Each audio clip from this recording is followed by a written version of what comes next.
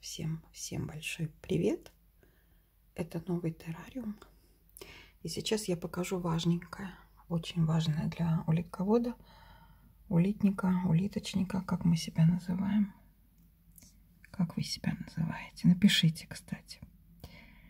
Смотрите, скажете, как же так? Новый тер и уже какие-то застарелые какахи. Да, потому что вот этот лист как и многое другое, я перенесла в обязательном порядке из старого терра, откуда переехали вот эти вот малявочки.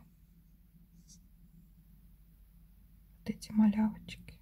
Вот одну улиточку вы здесь видите. Это подросток Ахатины Занзибарики. А мы его вот так. Он кушает питается. И чем больше с собой перенести старого всякого грунта, старых субстратов, старых предметов из прежнего тера, тем смелее будут улиточки. Хотя он сердится, вы это видите по глазам. Напишите, как это можно видеть, по каким признакам. Хочется понять, донесла ли я эту информацию до моих зрителей. Всем спасибо за внимание. Всем пока.